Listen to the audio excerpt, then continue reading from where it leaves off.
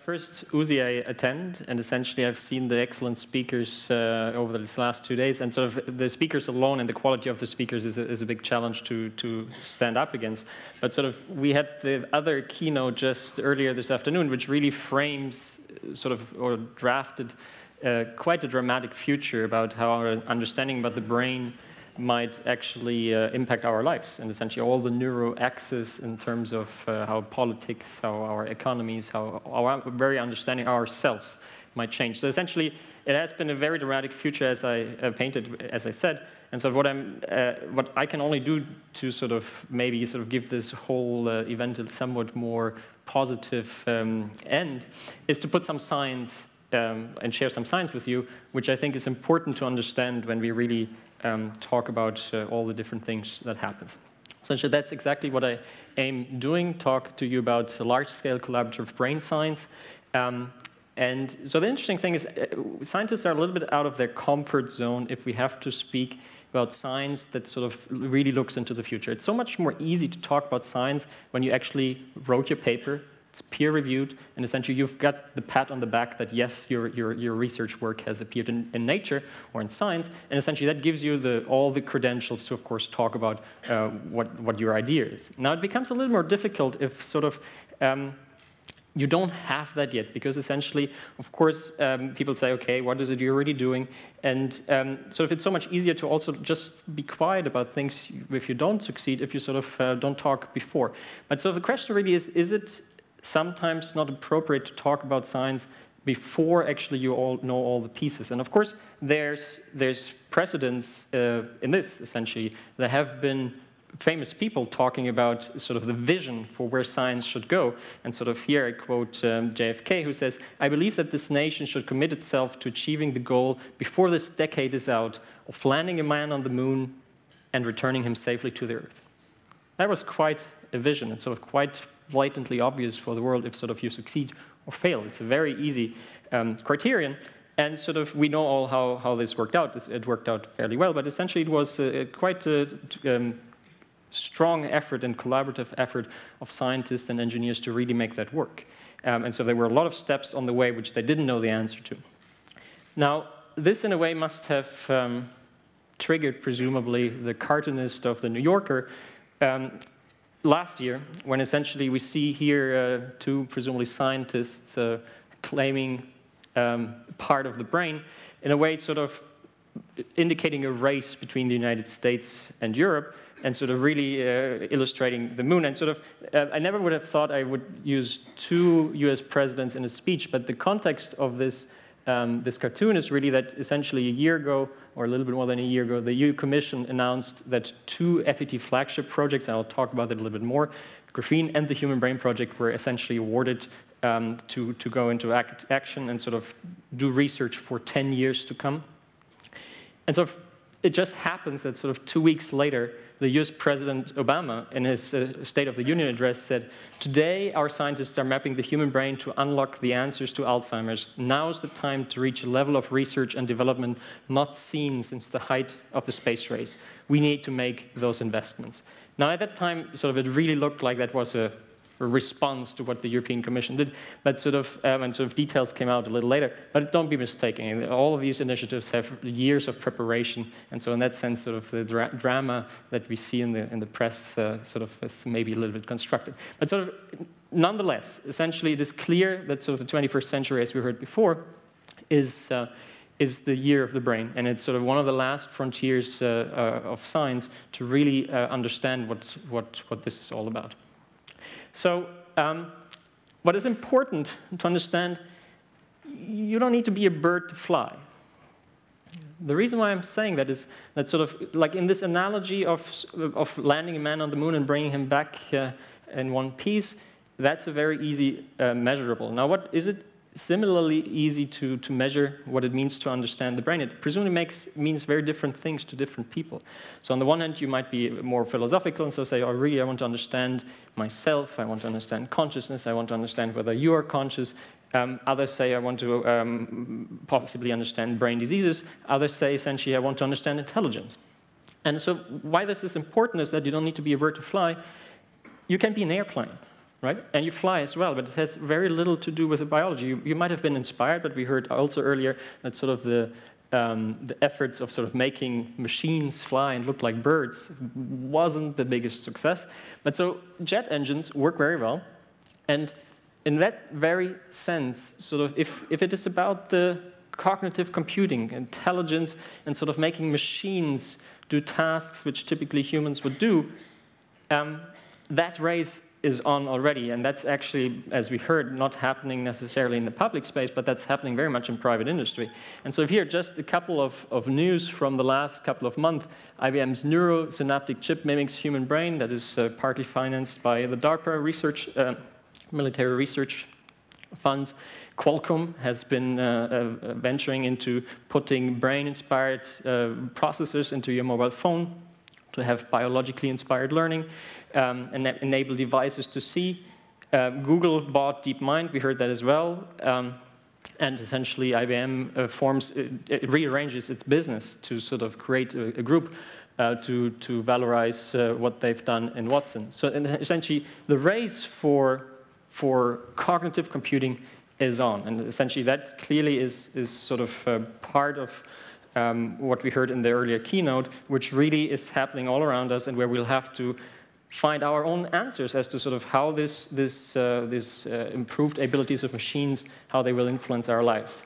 Now, what is important to, to, dis to discriminate here is that if you really want to understand the brain, and not just build a machine that does something smart, um, because essentially you want to understand how the brain works and how it produces all its marvels, or especially if you want to understand what happens if the brain sort of doesn't work so well, you'll have to study the brain. It doesn't help you that you build a jet um, plane to essentially fly, because essentially it's a different system. So essentially here really the, the, the, the base neuroscience comes into the game. You'll have to essentially wrap your head around all the molecules, all the cells, all the connections, and not just discard that as sort of evolutionary uh, superfluous things. So it's really like if the brain, the biological brain goes wrong, you'll have to study that brain. Now, and this is really what, what essentially is another moral challenge or ethical challenge, because the burden of brain diseases is dramatic, and there's a burden for the, for the individual, and there's the burden for the uh, economy. And sort of from patient data, so you can go to the hospitals and sort of count how many treatments they do. And they've done that for the European states, and um, deducing from there, you can essentially um, realize that about a third of the European population per year is being traded, treated for brain-related disorders.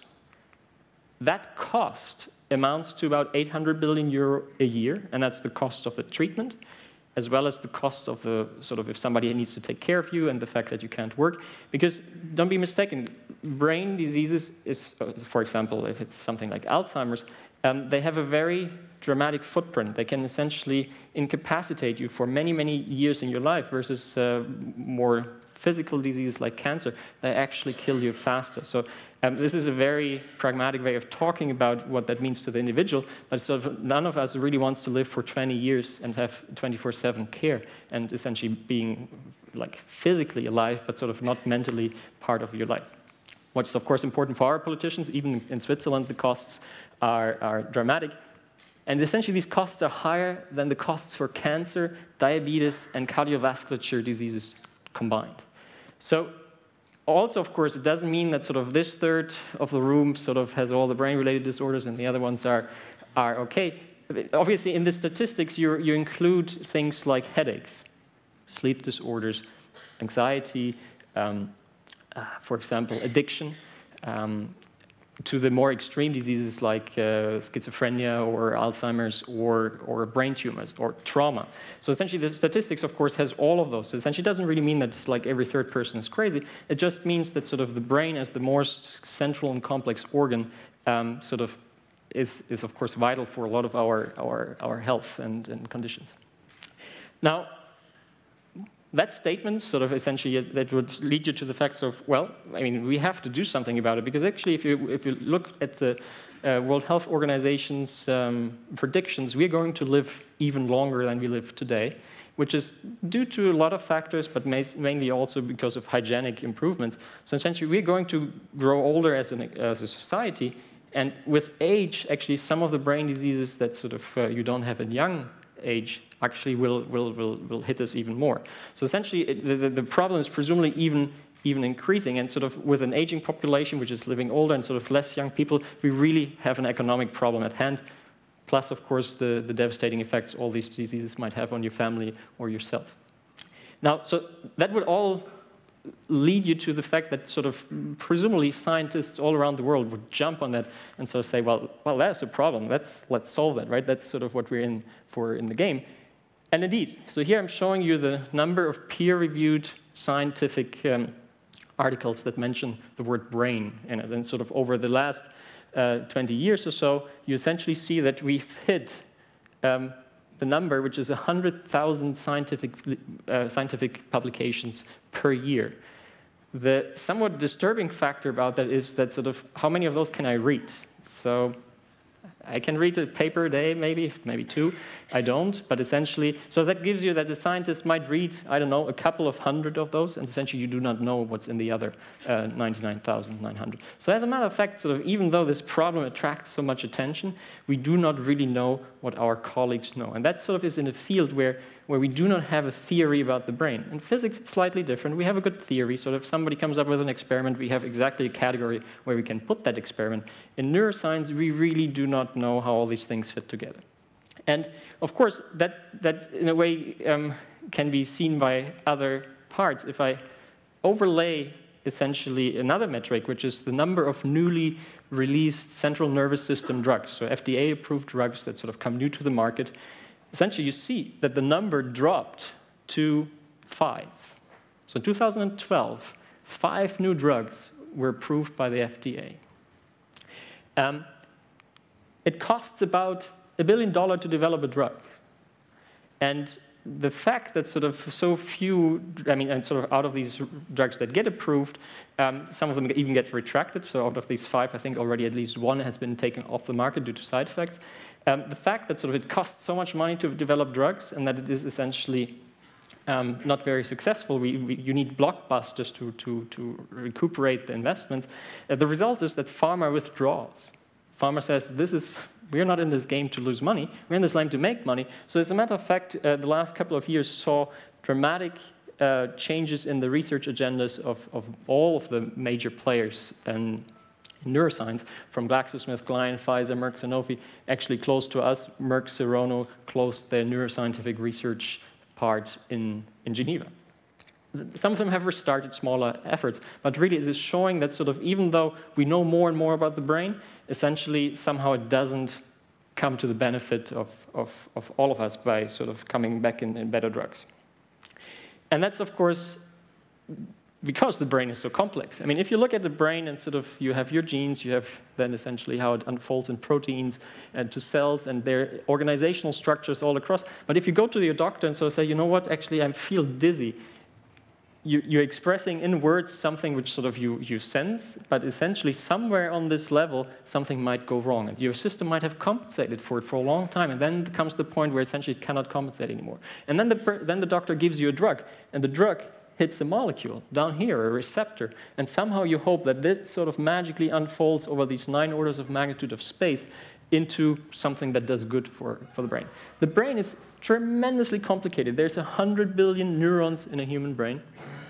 Every cell might have in the order of 1 to 10 billion proteins in, inside. Um, and that's essentially, it's, it's a, it, it's a it's such a multi-scale problem across spatial and time scales that sort of we, we do not have a causal understanding of what, what does it mean if a drug hits a receptor down here, how does it unfold. So essentially our, our knowledge is of course that we understand portions of, of, these, of the, this biophysics and we have an idea that, ah, okay, we found that essentially in this genetic mutation, if you have that gene, then sort of you don't have that protein and it helps you or it, it, it's bad for you. So we have, we have correlations, we have some functional knowledge, but we do not have a holistic view. Essentially, as a matter of fact, we don't understand a single drug today of how it actually unfolds in that system. And so that, that led us to, to a position statement saying, okay, well, if we, if we put this on the table, what, what is it we're really faced with? And so on the one hand, thanks to computing, thanks to microfluidics, thanks to genome sequencing, and all of that, we really have an exponential increase in data. Um, but sort of, as I explained to you with the, with the publications, it is more and more fragmented. So as a matter of fact, sort of even this more data gets more fragmented. And sort of, if you look at least in, in, in terms of patents or, or uh, drugs released to the market, um, the benefits for society seem to be decreasing. Um, while the economic burden is increasing. So that's, that's quite a dramatic statement if you sort of um, uh, make the summary. And in addition, of course, this is because of these multiple scales and that we do not have a good integration plan of how we're actually bridging these scales, how we can decide whether one data is good and another data is not good. How do we actually compare the two? It's really difficult, and I'll come back to that question. Um, to, to the point that sort of a lot of the drugs, of course, we we develop drugs in animal models. That was me. Um, and these animal models, essentially, a lot of the drugs actually fail when you go from the animal to the human. So essentially, there's something different. Um, even though sort of these animal models are, are, sort of, you have the same gene mutation, you even sort of try to implant some, some uh, human cells into animals, which, which is nowadays possible. Um, but sort of still, it fails in this, in this last stage. And sort of the, the point there is, is a, is a profoundly ethical one, because essentially we cannot and must not test drugs on humans. And so that's why we're testing it in proxy systems. Um, and yet, sort of, that's one of the big challenges that the proxy system is something else than the real system. So really, the question is, what can we bring to this table to make this problem better? And of be very careful. We are not saying that we should stop anything of the stuff we're doing. We're just saying we're, we're starving for ideas as to how to make this problem um, easier to tackle. So and that's exactly where essentially the story of, of our projects, and the Blue Brain project and the Human Brain project starts. And so I want to share with you this, this idea of, of sort of what we're trying to bring to the table.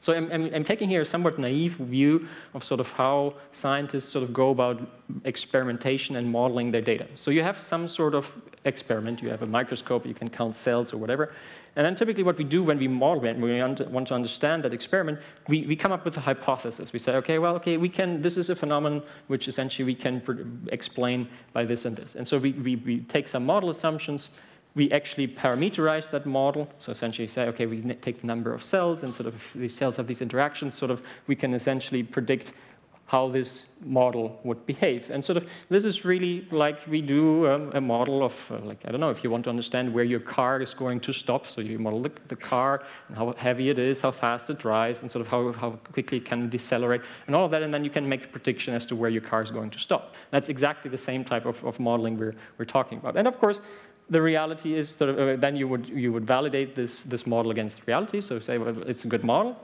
and the reality is sort of you'll realize your first model sucks and sort of you'll have to inspect and adapt. And sort of, of course, we scratch all these bad ideas and we come up with better ideas. So essentially their science is, is working in principle very, very effectively. So effectively that we actually have created tons of models and hypotheses of how the brain might work. As a matter of fact, we have so many that we actually don't even know how many we have. And they're all unrelated. And that's really one of the challenges that sort of there's very little insight in these models because they were created to explain one phenomenon. But sort of if you then sort of say, ah, you know what, can your model also um, explain if that person goes to sleep, that something changes? And I say, ah, you know what, that wasn't in my model assumption. So as a matter of fact, these models have been very tailored. So have been following this KISS simple, KISS principle, keep it simple, stupid. And sort of that that led us so far. Essentially, it created a, a, plethora of models which essentially don't really fit together. And again, I, I want to point out that sort of physics somehow has managed, has been following a similar approach and sort of also reduced uh, the, the, physics into different example systems and sort of built models. And um, there, for the most part, it actually worked to bring these models together in one theory. And so in physics, we have a fairly um, very consistent um, model of, of the physics. But again, in, in, biology, it just hasn't. So as a matter of fact, even physicists, and I can say that because I am a physicist by training, so a lot of physicists went into biology in the, in the 80s and so said, you know what, it worked so well in physics, let's apply it to neuroscience. It's going to work well. And the same method that worked in physics just didn't work out in biology. And presumably at the basis that we're, we're looking at a much more complex system, and we had sort of another keynote about that. So essentially, um, the, this, this simplification approach hasn't yet led to, to the successes um, we need. And so what we're proposing to, to do differently is something which has been also applied to other complex systems. That's sort of a type of an ab initio model. So instead of starting with a hypothesis as to what is it you're going to explain in terms of function, you actually put in the, the base ingredients of, of, the, of what you see, and then sort of see which emergent phenomena do come out of that. When I say ab initio model in physics, that has a very particular meaning. It means that sort of you're you're really starting from the base set of, of your theory and very little um, uh, additional assumptions. And sort of in biology, it's very difficult to start all the way down at the quantum mechanics. So essentially, um, I'll, I'll, allude to a little bit how, how that is, is, is done then in our context. Now, the, the alternative I'm proposing is these ab initio type models is to essentially, instead of building one model per experiment, you actually invest into a machinery that consistently updates a single model. So essentially, instead of creating thousands of models, you're creating one model. And the way you do that, of course, so that means your model is going to become more and more complex. And as a matter of fact, in, in the ab way, you actually model everything you find. And sort of in order to make that manageable, you have to make sure that this model can be improved, updated, validated, and so on. So it becomes a very procedural process that you essentially, you really account for all the different pieces, all the ion channels, all the cells. Uh, you create algorithms that can extract parameters out of this data, build computer models, you simulate them, you analyze them, and you, you sort of even say, okay, this, this was not a good iteration, so we'll have to sort of improve the model. And the idea is to sort of use this model as an as a framework, as a, as a scaffolding where you can put all this data, all this knowledge we find in biology in one place, as opposed to sort of it being scattered all across in different publications. Another way to look at it is sort of maybe the more accountant way. So essentially, you, you say what you really are doing is, on the one hand, you have, you have experimental data, you put it into databases and sort of you, you, you file it away. And then what you really have is an Excel sheet where sort of each row is, is, a, is something you can measure, the number of cells, the densities of these cells, uh, what types of cells, how they connect. Um, and sort of you become very, very accountant, and essentially you really extract, okay, look, out of this experiment, I can extract these values. And in a way, you could say you would do that so carefully that sort of one of these Excel sheets is for a mouse, another one is for a rat, another one is for a primate, another one is for a human. Obviously, they're all different, right? So you can't really uh, exchange that. And sort of they're presumably different per developmental stage. I mean, if you're an, an adolescent or a, a, young animal, essentially, then sort of your brain might be different than from an adult. So you have to become very, very, very um, precise about what you're doing. And then what you do is you apply computing technology, software. You, you try to sort of, with, it, with the things you could measure, you say, say, that's interesting. If I know the volume of the brain and I know how many cells, I can actually infer what is the cell density. I could infer what's the density of, of the fabric you're coming out. So you actually realize that sort of these values are not independent, but you can use these, this data to extract principles and essentially make predictions as to other things which you weren't able to measure directly, how they could like, because essentially these, this, this data is interrelated. And that, that's the key. As a matter of fact, we realized we very likely will never be able to measure everything about the brain. And that has been a big criticism about what, what we're doing in neuroscience. You, they say, you know what, how can you start modeling? We don't know enough. I mean, we'll have to wait until we know the connectome. We have to wait before we have uh, um, other data sets about activity. But the point is, some of these data sets are so laborious to get, and the incentive is really, I mean, they're, they're, these data sets are uh, gathered by scientists, and scientists want to sort of get promoted. They want to do their PhD thesis, they want to be promoted into real scientists. And so if you really get your promotion once you actually do sexy science, stuff that's new, if you're doing the same stuff somebody else has done before, uh, that sort of might get you a master's degree. But PhD, it's already problematic because essentially, if it's not novel, you won't be able to publish it. So essentially, science, by the way its incentive system works, is some of these, these fields might never be measured. So essentially, it becomes very relevant, the questions of how are we going to, to, understand the brain if some of these things won't get measured. And sort of one of the ideas we have, of course, is, well, if you build a model and you can essentially use those data you have to actually predict what's in the gaps, that might be a first test, the first prediction of what's in these things, uh, which essentially is exactly what these are. And then you can sort of say, if you realize that in your model this is a crucial parameter, you actually can go out and say, now it's worthwhile to do that experiment and measure it. And of course, this will also become very interesting because essentially you will fill this, these tables for certain species which are accessible, where essentially you can use invasive uh, experimentation, and sort of then you'll have to learn how to essentially make the correlation between other species. And there's, of course, the single-cell transcriptome is, a, is an important aspect in there, but I will not go into the details. Now, that's exactly what we did. So in, in the Blue Brain project uh, over the last eight and a half years, we essentially, so here you see a space scale from, from nanometers, so where you have your DNA to, to the human brain, or, and sort of we, we attacked a certain part of that. So essentially we tried to put this ab initio type model uh, to the test with data that essentially was readily available in the, in the laboratory of, of Henry Markram, who's the, origin, the director and founder of the Blue Brain Project. And so this is really electrophysiology, so the, from the level of ion channels to, to uh, networks, thousands of cells. So it doesn't go all the way to the chemistry, it doesn't go all the way to the, to the whole brain. So essentially it was a proof of concept.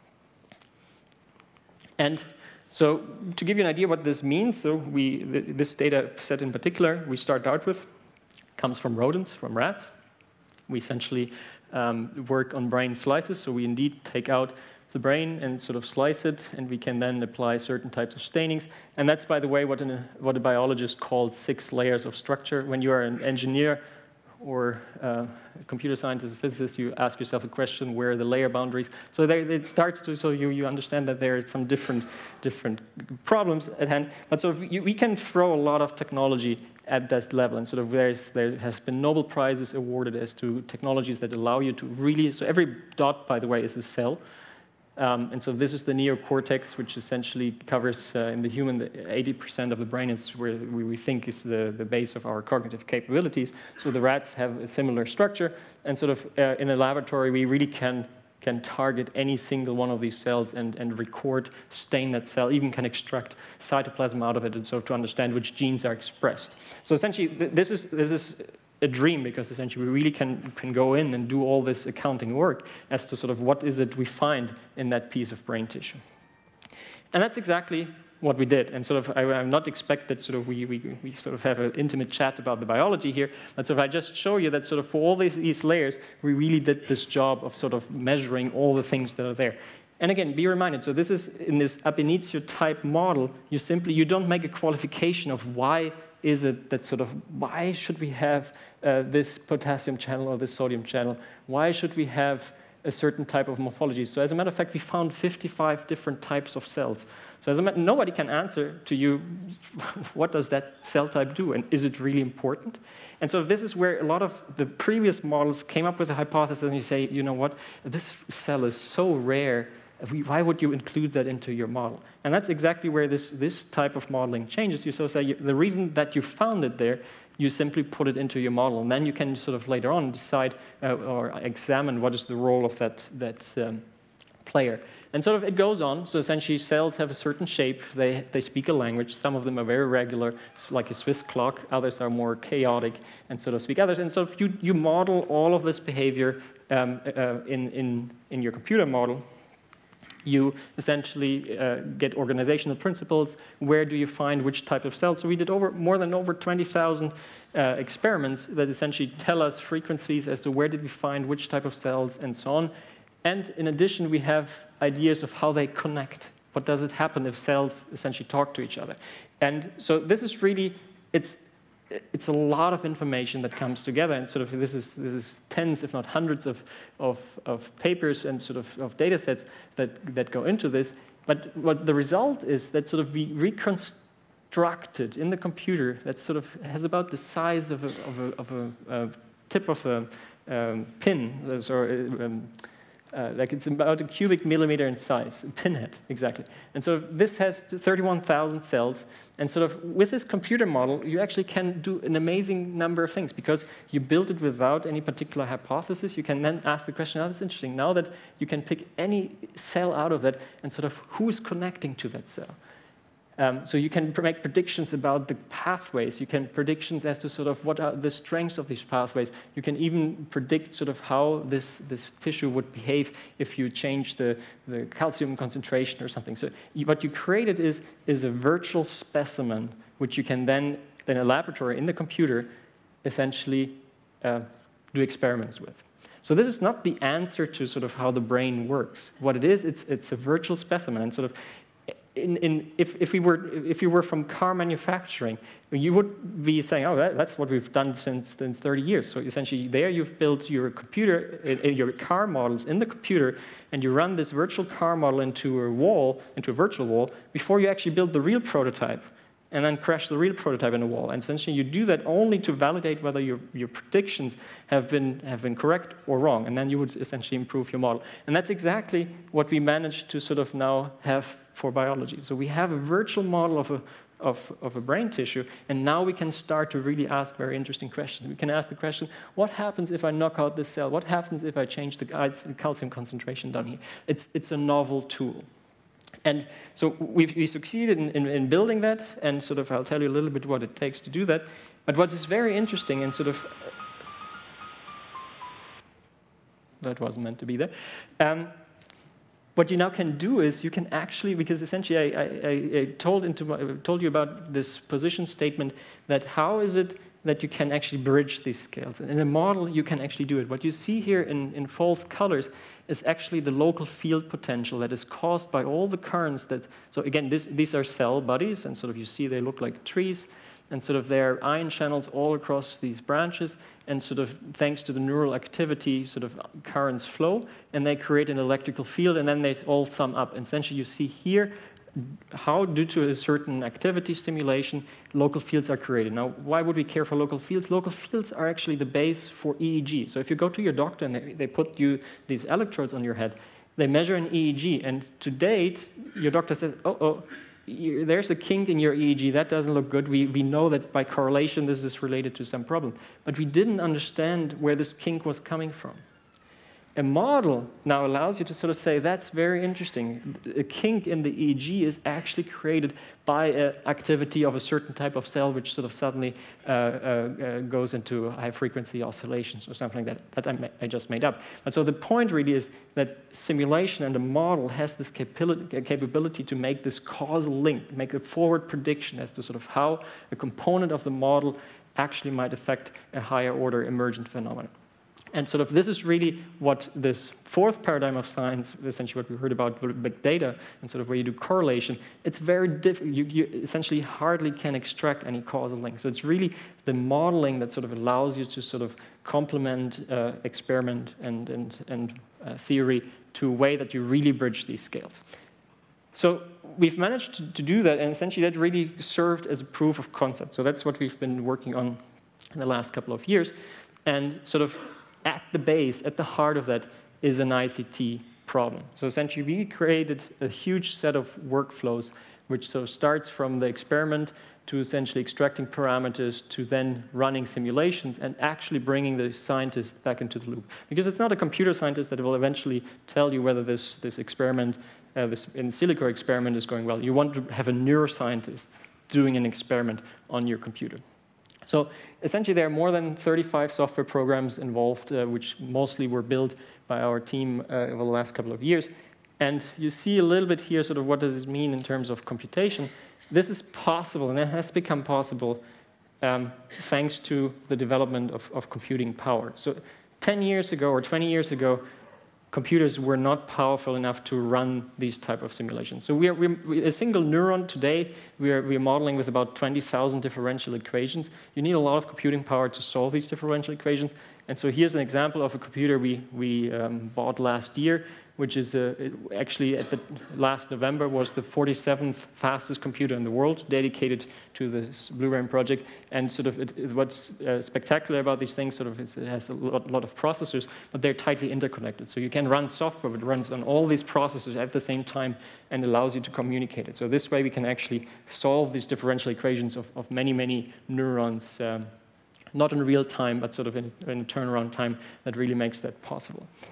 And so what is so critical about it is, sort of here I have, I'm taking the, compute, the computing requirements of what it takes to actually model a, a, brain or a piece of a brain in that level of detail. And sort of this is a log, double logarithmic plot, so every tick is a factor of 10. The problem is on, on these type of plots, any big advancement sort of looks like a tiny little thing. So as a matter of fact, when we started in 2005, we had a supercomputer. And then sort of four years later, we had a supercomputer that brought us exactly this few millimeters on this graph forward. And today's supercomputer brought us here. So essentially, we, we were able to really, thanks to technology, uh, we were able to simulate a substantial piece of brain tissue, essentially the size of a pinhead, uh, on this first supercomputer. And nowadays, we're coming to the realm that we can use the same type of fidelity of a model for an entire rodent brain, mouse, or rat uh, at the same level of detail. But don't be mistaken, sort of, um, if you actually want to go here, so that means you want to run a, a, cellular simulation of a human brain, you will have to make a factor of 1,000 improvement on these axes. And a factor of 1,000 is a lot. Think of just your car would sort of become a factor 1,000 times faster. That would mean instead of driving 100 kilometers an hour, 100,000 kilometers an hour. That will not happen. But interestingly enough, computing is making this type of progress in essentially 10 to 12 years. So supercomputers over the last um, uh, 30 years have been making fact a 1,000 leap forward every 10 to 12 years. Now, that's driven by, by national security or by essentially uh, uh, the nuclear stockpile stewardship, because essentially the, the big countries only agreed to not do to testing of the nuclear weapons um, in the real world because they can do simulations that assures them that their simulation that their weapons still work. So that's really what's driving these these big supercomputers. And sort of we thought it's a much better idea to put them to use for neuroscience. So we find it very exciting that they're actually now, as we speak, have become powerful enough to really start addressing the the brain simulations. But we mustn't fool ourselves. So essentially, if we really include more chemistry, more subcellular detail, and sort of ask other questions, we will need even more computing power. So essentially, if that brings us back to the, to the earlier keynote we had, sort of there, there is still a lot of compute innovation that has to go on before we actually sort of really can run brain simulations at a, at a high fidelity. But sort of it's still interesting, and I think we shouldn't miss that train, and we really should put this technology to the use of, of, of neuroscience. Now, and it's really this convergence which, which is at the base of what then brings us to the Human Brain Project.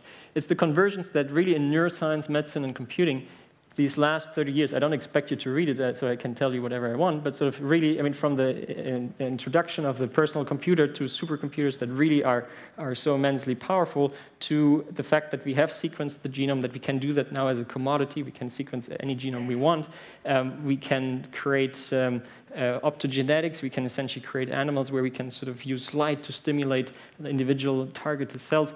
Um, the uh, Paul Allen, one of the co-founders of Microsoft, has essentially launched a big neuroscience initiative in Seattle, the Allen Brain Institute, and sort of there, there has been an amount of, of activity in all these fields that really you can say, wait a second, there's a lot going on, but sort of what is the possibility to actually bring this all together? That's what's, what's missing. So essentially, we, we can see that really every day you can read the news, and so there's a new uh, new invention, new publication, new initiative going off, but sort of what is it that sort of allows us to bring this all together? And so the goal of the Human Brain Project really is to use information and communication technology as a catalyst for global collaborative effort um, to understand the human brain, its diseases, and of course, we shouldn't forget the brain is a, uh, is a information processing device. So I mean, if we understand the brain, yes, that ought to help us to build systems that sort of can compute the way the brain might compute. And really, these are the three goals of the project. Now, um, the, the pre-work of what we did in Switzerland, as well as other partners in Europe, really uh, convinced Europe that sort of we, it's time for us to put such a project together. And they decided to put out something very new, a funding instrument that would allow to fund research for a time frame of 10 years, and that's unheard of. I mean, normally research funding is a lot shorter, and 10 years is a long time. It's very hard to predict what happens in, in 10 years, especially with all this exponentially increasing um, technologies. But, but yet, so the idea was to actually have a moon landing vision, have a long-term vision that would, would bind and federate people together. And that's exactly what we, what we applied for. We essentially made uh, several proposals. I spare you the details of how much bureaucracy that is in, in Europe. Um, but sort of we succeeded and the idea is that the promise is that there is up to 100 million euro of funding uh, for 10 years. Now, of course, um, you divide that by the number of partners. So essentially, in the first phase, actually, we, we got a lot less money, but sort of it's 112 um, partner institutions, 112 universities, mostly in Europe, some in the United States and in other, other countries. So uh, per partner per year, it's, it's a reasonable amount. But what's new is it's really that there's a, it's a unifying vision for 10 years to come. And um, sort of what I explained to you, this unifying model is really at the base of what this, this human brain project is about. So essentially, we will build unifying models for the mouse and the human. And the reason why we do that is really the mouse is the one species which is sort of most, we, we understand the best in terms of genetics. And so it's really the one where we can do uh, invasive experimentation. And so we have a lot of data. So essentially, we will apply this methodology, which I showed you, to the entire, all the regions of, of a mouse brain. And then essentially, we, we do, I mean, the goal is the human brain. Right? We want to understand how it works and how it doesn't work. And the problem, on the other hand, is that there's a lot less data. It's anecdotal data. I mean, you will presumably not sign up and so say, will you donate your brain for invasive brain research? And you shouldn't, right? So the point is, so there is certain data we will never get, and we have to face that. So we can do non-invasive measurements, and fMRI, they get stronger, stronger magnets, so have better resolution. But it's, it's no match to sort of the, the detailed access we have in, in, in, uh, in rodents. And so the real thing is that essentially we'll have to learn how to sort of go from what we learned in the mouse to the human. And that's predictions. And sort of, as I told you, the single cell transcriptome will be a big factor in that, so that we actually learn which genes are switched on and then can make an educated prediction as to sort of how that, that change unfolds in between species. Um, obviously, brains do not live in isolation. So essentially, brains have sensors, have sensor simulation, um, and they are actions. And sort of in the end, if you, if you go down that road and you want to sort of model an entire brain, you will want to include closed loop behavior. And sort of if you do a brain in simulation, you presumably want to do, this closed loop behavior in simulation simply because uh, you can't promise that you can solve all these equations in real time, so you might as well sort of delay the environment around and sort of simulate it as well. Now, at the same time, I told you the brain is an information processing device, and sort of the idea would be is that while you're actually learning to piece the brain together, you can sort of say, ah, that's interesting. That's how the visual system works. So maybe I can use that to sort of inspire computing technology, which we call, well, novel computing or neuromorphic computing. So you're using the information processing architecture of the brain to solve brain-like computing problems. But there, again, I don't think that brain-inspired computing will replace our digital computing. Because, I mean, we, digital computers are very good at solving differential equations or calculate the billionth uh, after comma digit of pi. If you give that to a human, the human will say, uh-oh, uh, I'll, I'll, I'll, stop after the first after comma digit, right? And on the other hand, sort of we are very good in, in, in recognizing appro uh, approximate solutions and scenes and so on where computers suck. So in that sense, very, we, we really think there's a potential to sort of uh, have a new type of information processing systems. In the end, of course, it is not just about the healthy brain. You will have to get medical data. And sort of this is, this is a very interesting field because essentially, uh, for, for the longest time, we've been giving diseases labels by symptoms. And sort of what really this is about is we want to actually get the signatures of diseases. We want to understand in which parameters does this disease is based on maybe on, on the fact that there are more cells that are connected slightly differently and that receptor is not present or it's overexpressed and so on. We want to get to this, to this biological signature so that we eventually can sort of instruct these models and actually try to model this disease and how essentially a, a, a drug might unfold in the context of a certain disease variation. Um, And so this is exactly, so again, at the heart of the Human Brain Project is information and, and uh, uh, communication technology. So we call this platform. So we will build web accessible platforms where actually all the partners of these 112 institutions around the world will be able to actually do this type of research collaboratively on one model. And that's really, that, that's, that's the difference. I mean, in the, in the past, it was too easy for these groups to sort of just work on their little issue, their little issue, publish it, and sort of not work together. So what we really want, we want to tap into, into this intelligence of all these people working together. And in that sense, sort of, um, we, we have similarities to the virtual choir, we have similarities to other network phenomena. It is really something which we want to bring into science to, to make that work. And so now it comes, uh, comes a very interesting point. And I told you that in the beginning, so that science, it's very difficult to sort of talk about science if it sort of hasn't yet delivered what it is. So what we can talk about is on the one hand, these platforms, th this is almost an engineering challenge. I mean, it's, it's, it's tough engineering because we are also uh, assuming that sort of computing will grow by a factor of thousand. That means your number of threads goes up by a number of thousand. That's all tough work. We want to build, uh, uh, bring uh, um, search systems into hospitals where essentially we have to worry about anonymity. So, I mean, there's unsolved problems all over, but it still boils down to a set of engineering uh, challenges which essentially, thanks to prior work of the Blue Project as well as many other European initiatives, we have a good handle, we have a good head start on how that works. So we, we really think, like in a, in a product development sense, we can get first releases of these platforms to our own consortium and to researchers outside. And sort of with the years to come, we will boost the capabilities of these platforms. So essentially, we will grow them by a factor of 1,000. We'll integrate more data. We'll make uh, uh, uh, integrate more cellular data, more more molecular data. So essentially, there's an entire roadmap of how we're going to move forward. And then comes, of course, the notion of what can you do with that? And sort of we have a commitment that sort of on this on this roadmap there will be certain drafts of, of integrated brain models for the mouse and for the human. But sort of, I've been choosing very sort of unromantic uh, terms here. So I'm, like, I'm, I'm, showing you that sort of we're de developing a capability. We're, we're, developing a microscope which sort of increases in resolution. And sort of we will make this available to ours and other scientists to sort of do their research with this instrument. Allow a pharma to use that to essentially test their drugs. Allow a computing company to use that to sort of say, wait a second, can I essentially uh, extract a certain type of computing out of it? Or we will uh, allow uh, uh, medical researchers to sort of say, wait a second, how do my patients cluster? So it's, it's very important that sort of we discriminate sort of the, the, the possible outcomes from sort of what we really can commit to the way we sort of think of it, that these six platforms are really at the heart of, of this project and really will accelerate of how neuroscience, medicine, and computing is, is being done. So we are, for in these three research areas, we will provide novel tools to scientists to integrate data and to do in silico experiments for accelerating neuroscience. And really, we want to allow them to sort of all these theories that float around of how the brain might work to sort of link that to a ground truth model and eventually to experiment in data. And sort of we really want them to sort of use this facility to sort of integrate our understanding about the brain.